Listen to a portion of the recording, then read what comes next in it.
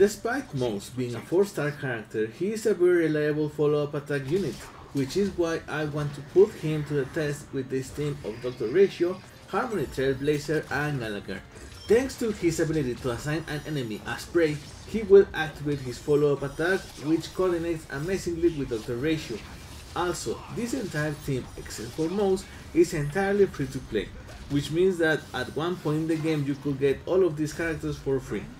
So, I will leave you with the rest of this video and I'll come back to see Moze's skills and how to build him. See you in a bit.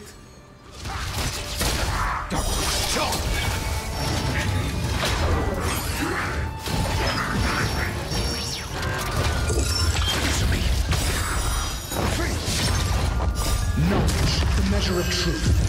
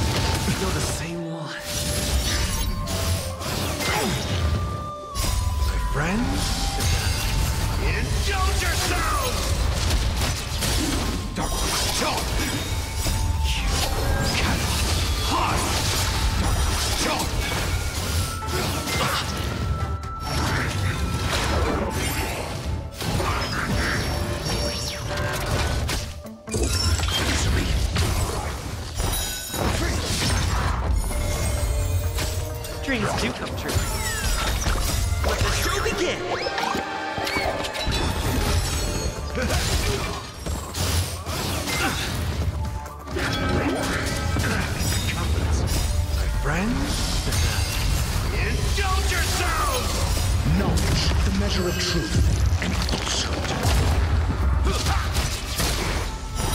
Zero points.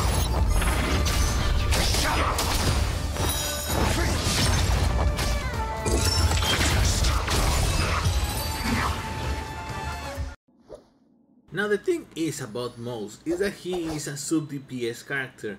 You want to focus on getting him the much the as much attack as you need and also crit damage and crit rate. For example, right now I have my Moze I have I am two levels away from level 80 which is a little bit of a bummer but I'm I'm trying to farm right here. This is hard man.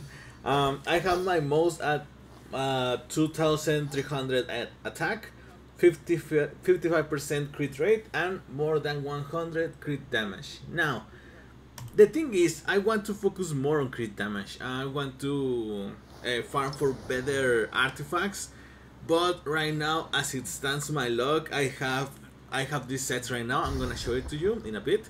I have 55% of break effect, which is it, it's nice. Um, it shouldn't be a main focus for you. Uh, effect hit rate, effect rest, it really doesn't matter. And we have a bit of lightning, lightning damage bonus mostly for his traces. Now the light cone that I have for him is swordplay. For each time the wearer hits the same target, damage dealt increases by 60%, stacking up to 5 times. This effect will be dispelled when the wearer changes targets. So this is great. This is a very specific niche uh, like the light cone for Moze because as it stands the prey talent that Moze has requires for you to attack uh, the enemy that has the prey assignation. So the moment that you get the enemy that has the prey status inflicted on, on, on himself from Moze you want to attack that character as much as you can because you're gonna uh, increase uh, the damage taken from that enemy uh, and it's gonna be you're gonna be able to deal most damage to that enemy specifically mostly because of the the prey uh, prey talent which we're gonna see in a while. So this this light cone is perfect for him. There are there are more better light cones that you can put on Moze but as a free to play kind of build character swordplay is very good. Um, if you have him and you have this icon you can go wrong now the traces we can see them right here. Nightfeather. After using the talent follow-up attack recovers one skill point. This effect can trigger again after one turn. So we're gonna be uh, uh, having recovering skill points, which is a really good thing. Uh, no problems with that. Dagger Hold. When Moze dispels his departed state, his action advances by 20%. At the start of each wave, Moze's action advances by 30%. So he's gonna be dealing more uh, frequently at the beginning of the of the battle, which is I mean it's, it's a good thing. You can help this to activate the other follow-up attacks for from other units. Now, technique. After using technique, enters the stealth state for 20 seconds. While in stealth, Moze is undetectable by enemies. If Moze attacks enemies to enter combat while in stealth, increases damage by 30%, lasting for 2 turns. Which is is really good. Let's see that let's say that you really don't want to be farming or you want to explore a new area quickly without the the requirement of defeating all the enemies. You can use this to to more efficiently walk through unknown areas and also increase Moze's damage by 3%. Now dash in dash out which is the ultimate. The lightning damage equal to 243% of Moze attack to a single target enemy and launches the talent's follow-up attack against this target. If the target is defeated before this follow-up attack is used, launches the follow-up attack against a random single enemy instead. So follow-up attack. That's the most principal um, uh, objective that you have with Moze. So you want to pair him with other units that do follow-up attacks. Now, the uh, uh, very good exa example will be Xiao, like we saw previously in the gameplay a little minutes ago. Dr. Ratio is also very it's it's also a very good unit that has follow-up attacks. So because uh, keep focus on that. The basic attack it's it's okay. Now skill. Fleetwinged Raid marks a designated single enemy target as prey and deals to it the lightning damage equal to 121% of Moze attack and gains 9% of charge. When there are no other characters on the field that are capable of combat, Moze cannot use his skill and dispels the enemy's prey state. Now this is what we're talking about. Moze is gonna designate a single enemy as prey. So this is gonna help us uh, use the light cone of uh, Swordplay to its maximum potency. But additionally, we're gonna be dealing more damage to this enemy. And we, I believe it's right here, this right here above. Yeah, here is talent. When prey exists on the field, Moze will enter the party state. After allies attack prey, Moze will additionally deal one instance of lightning additional damage equal to 26% of his attack and consumes one point of charge. For every 10 points of charge consumed, remember we have 9 charges, Moze launches one follow-up attack to prey, dealing damage, uh, lightning damage equal to 140% of his attack. And when we reach 0, dispel the target's prey state and resets the tally of charges point required to follow the launch of follow-up attack. Talent follow-up attack does not consume charge. So this is it. Uh, Moze is gonna be more efficiently against uh, one single enemy. You're gonna be you're not gonna be using him a lot um, for AOE damage, but you can focus maybe on the boss if the boss is assigned as prey, and you can have units that deal with the other enemies that are around the field. But yeah, prey is amazing. I mean, you can you can take a lot with with this skill, especially if you use other characters to attack and they have the prey status. You're gonna be dealing more damage to them. So Moze is also it's like as an amplifier, but not for you specifically. So it's gonna be debuffing the enemy, and if you use your units to attack that debuff enemy, you're gonna be dealing more damage. So it's it's a really good uh, good kit overall.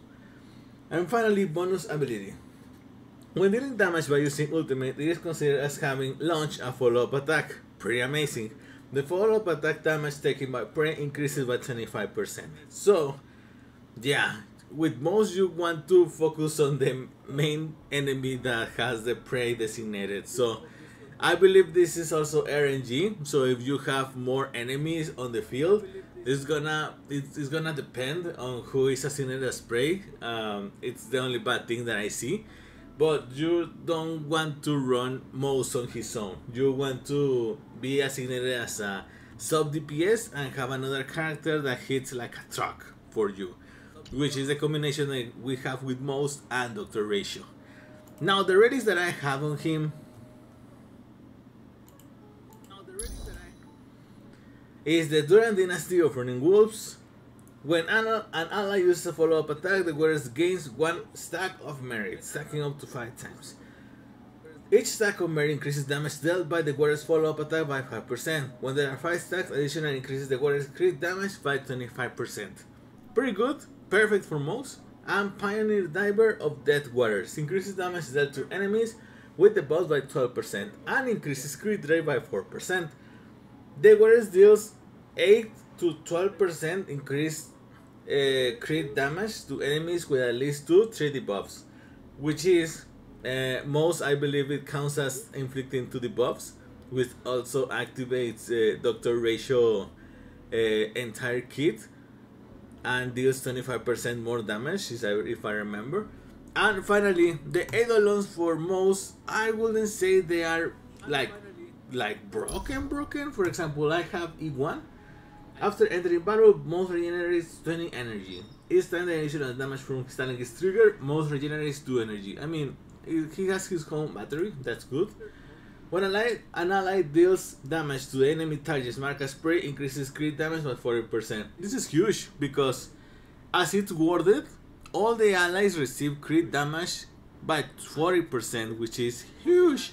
But to the enemy, mark a spray. Remember that. So we're gonna be dealing a lot of damage to the one character that is designated as prey. Now, Hit Prowler, which is E4, when using ultimate increases damage dealt by Moze by 30%. I mean, it's okay. And Fate Binder. Fate Binder? Increases the damage multiplier of the talent's follow-up attack by 25%. So, I would say that Rat Better, it's like the top most useful Eidolon that you can get to Moze. Uh, so keep an eye on that. And yeah, that will be all guys. Thank you so much for watching. I really hope that you enjoyed this video. Moze has been a jewel. I mean, most all of most of the four star characters that Honkai Star Rail has been releasing are amazing. Uh, even better than most old five star units. So uh, if you really like it, you should build him up. It's it's very good. It's a very good unit, and there are more follow-up attack units coming on their way. So you uh, it would be cool if you consider employing resources to train Moze. But thank you so much for watching, guys. I really hope that you enjoyed this video. If you did, consider subscribing to the channel. Um, I'm gonna leave you with two videos at the end if you want to keep watching more content of Honkai Star and other gacha games that we cover here in the channel. And if you want to support the channel, I'm gonna leave you with a few ideas down below in the comments below and the description. Thank you so much for watching. My name is Jules and I'll see you in the next one.